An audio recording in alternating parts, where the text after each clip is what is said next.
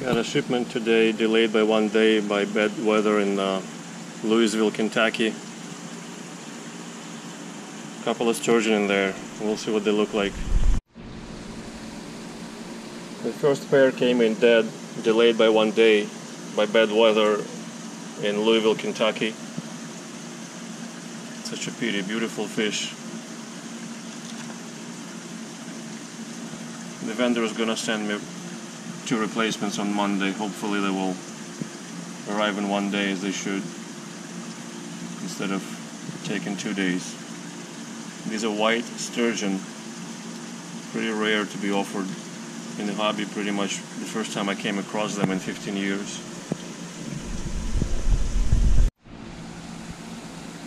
Second try with the white sturgeon. This delivery came on time. We're going to open up and see what it looks like.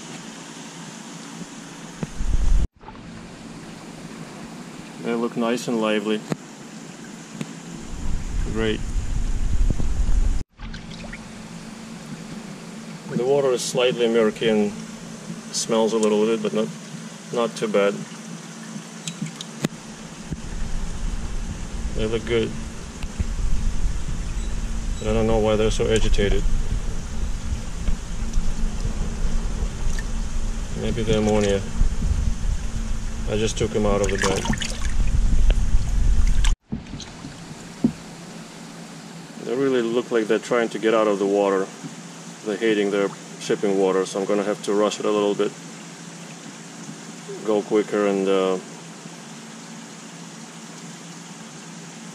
put them in their new tank.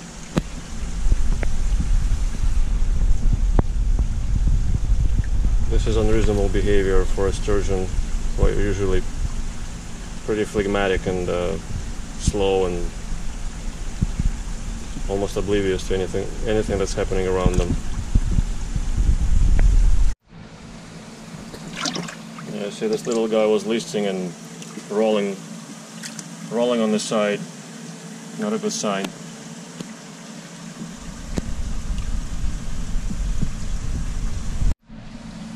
See the bigger guy, as soon as he stops, he starts rolling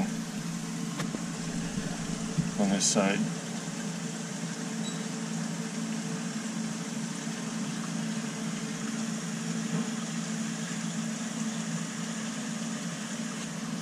And they're breathing really heavy.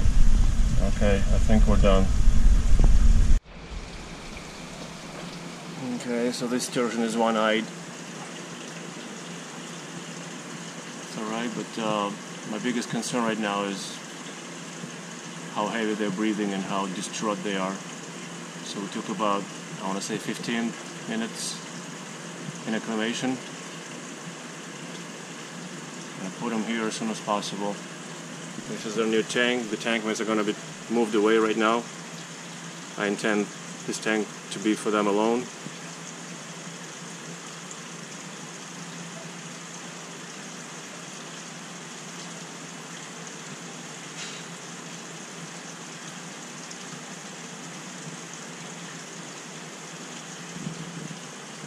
Yeah, they came agitated already. They were quite agitated in the in the shipping bag.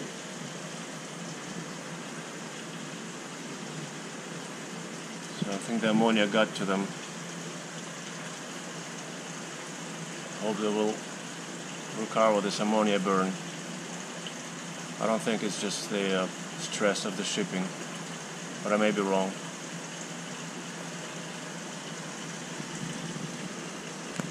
The one-eyed guy is knocking around.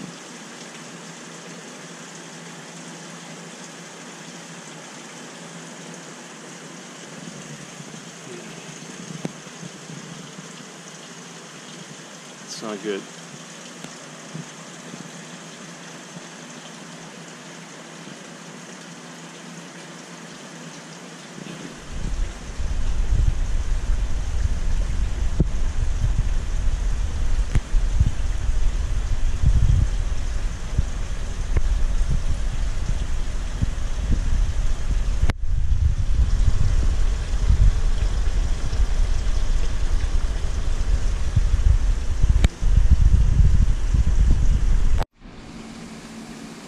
This water is uh, what I was taking out when I was acclimating them.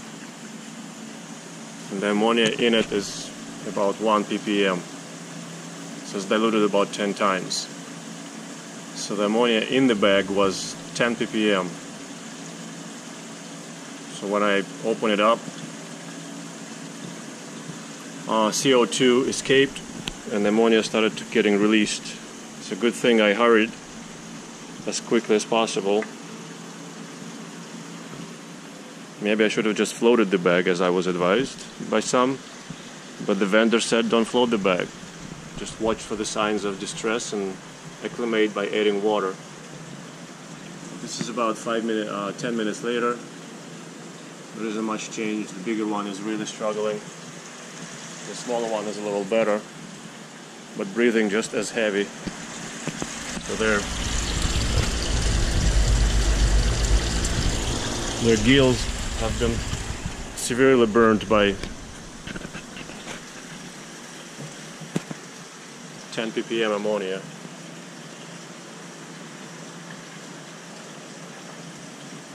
Yep, it's the same erratic swimming they showed in the bag even before I opened it. And then it got worse when I opened it.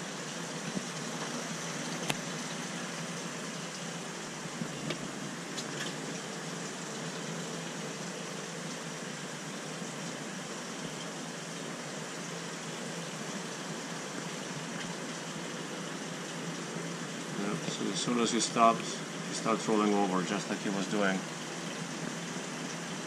Even at the very beginning of the acclimation, when I just opened them up.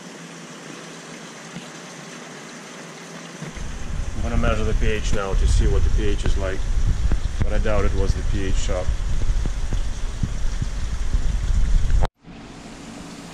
The pH of this 10 times diluted water, the water, is about I want to say 6.6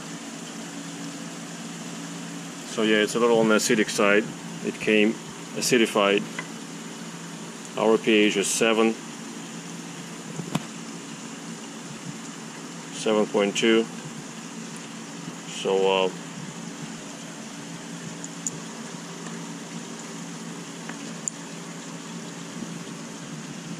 ammonia on the right pH on the left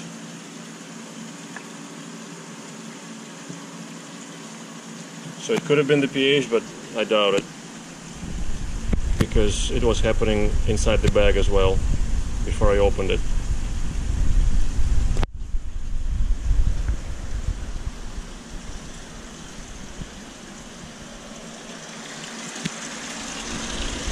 No big change here.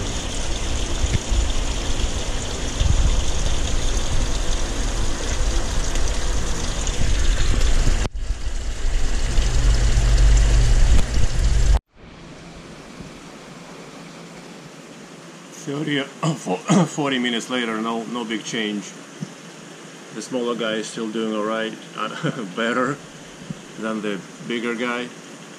And this is consistent with ammonia burn of the gills because the bigger fish need more oxygen and it affects them worse often.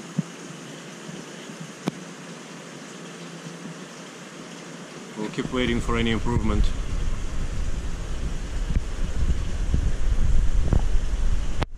I'm out the tank mates yet because I don't know what's gonna happen. If they're both gonna perish there's no point to for now nobody bothers them. Not the gar not the tiger shovel nose none of them. Come even close to them. They're all scared in the other on the other end. Anyhow hoping and praying for a miracle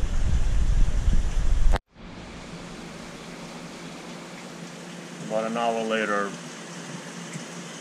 very little improvement. The bigger sturgeon seems to be able to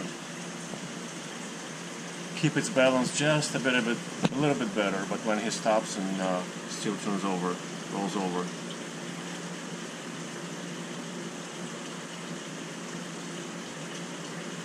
As you can see. Both are still breathing very heavy slowly taking all the tank mates out of here. Hour and a half later, there is a small but improvement. I think that breathing still heavy, quite heavy, but not as heavy as before. And the bigger guy is able to keep his balance a little better. Still rolls over, but for the most part, he's keeping up his balance. I removed all the tank mates, as you can see from here.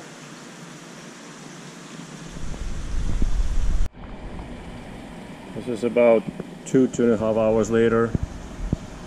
They're doing slowly, slowly, but better, still breathing heavy. You see how much red is in their fins, especially at the base of the fins. That means major stress. The blood rushes to the fins.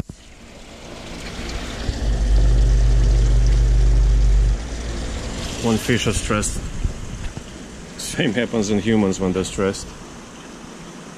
You see the big one is still listing to the right. But he's keeping his balance a little bit better now, see? He keeps listing to the right.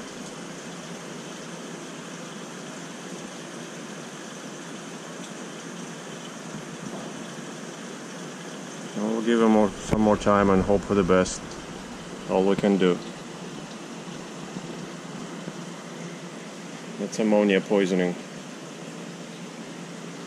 Pretty obvious. To me, anyway.